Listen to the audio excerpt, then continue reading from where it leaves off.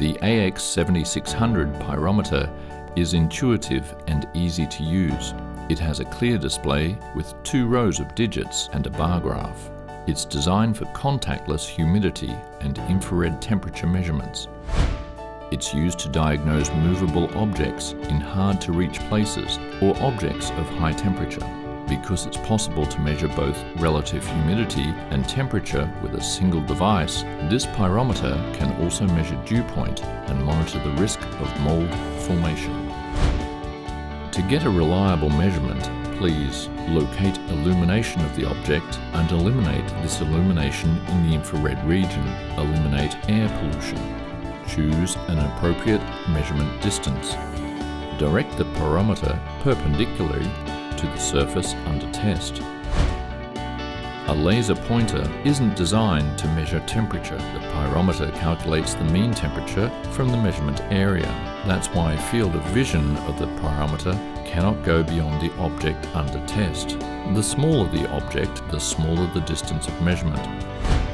If air relative humidity exceeds 45%, you can measure dew point for ambient temperature.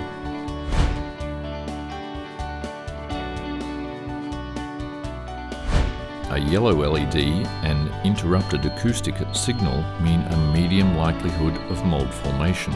A red LED and uninterrupted acoustic signal mean that the risk is high. The signal can be turned off with a switch.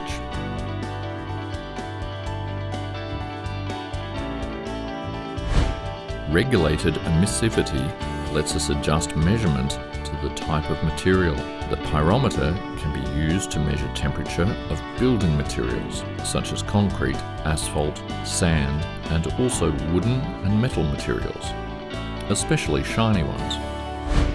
The AX7600 pyrometer does not introduce interference to the measurement area. It can measure temperature and humidity and perform preliminary assessment of environmental parameters.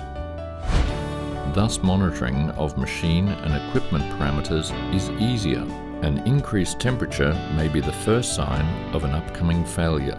The AX7600 battery provides up to 6 hours of use.